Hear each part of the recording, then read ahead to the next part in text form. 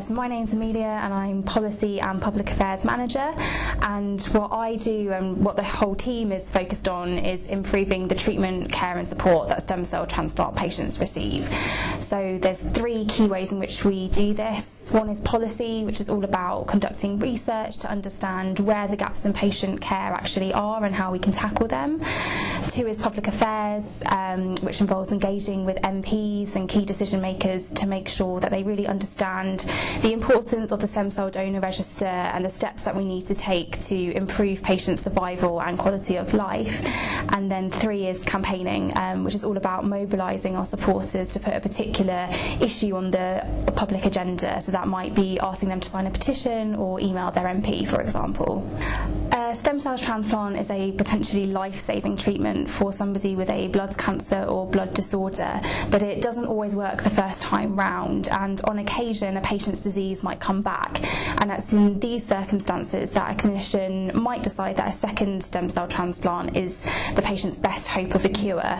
What happened back in July 2016 was that NHS England decided it wasn't able to fund second transplants, specifically for patients whose blood disorder or blood disorder had relapsed um, more than a year after their first donor transplant. And what this meant was that up to 20 patients a year in England were missing out on the treatment that could save their life. This obviously caused a huge amount of distress to patients and their families. We knew that people were alive and living really well because they'd had a second transplant, and we knew that NHS England's decision went against the advice of the clinical community. So it was a very serious situation, and we had to take action very quickly. The Defend Second Transplants campaign called on the Secretary of State for Health to intervene and ensure that everybody who needed a second transplant was able to get one. So it ran for about seven months, and during that time, more than 25,000 supporters took action by signing a letter to Jeremy Hunt, by emailing their MP, and by signing a petition. Alongside all of this, we did a few other things. Um, so we coordinated a letter to the Times with leading clinicians to call on NHS England to reverse their decision, and we worked very closely with MPs and um, the all-party parliamentary group on stem cell transplantation. A real highlight of that was a parliamentary debate back in January, um, during which MPs made a really strong case for second transplants directly to the government. At the heart of everything was patients, and a patient called Emma actually fronted our campaign, and she had had a second transplant and basically wanted everybody to have the same chance as her.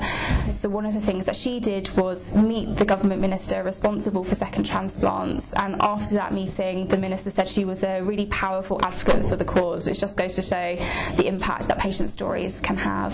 Um, in February, everything finally came together, and NHS England announced that it would start funding second stem cell transplants with immediate effect.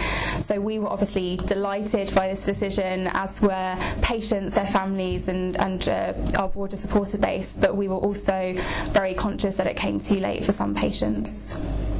A stem cell transplant is just the beginning of a really long journey uh, towards recovery. And after patients leave hospital, they can face a whole range of physical, emotional, and practical challenges. Um, and unfortunately, we know that they don't always get the care and support that they need during this time. So, just one example is research from Anthony Nolan has shown that of the people who need emotional and psychological support, only half actually get it. So, there's a big gap in service there. What it comes down to is the way in which um, post transplant care services are planned and paid for or commissioned doesn't work for every single patient. So hospitals only receive sufficient funding for the first 100 days, and then after that, it becomes unclear who's actually responsible. And that's why our Who Cares campaign calls on health commissioners across the UK to review the services that they are providing, including the impact of that 100 day cut-off, and ultimately to work with Anthony Nolan and the clinical community on a plan to ensure that every patient gets the right care and support after a stem cell transplant.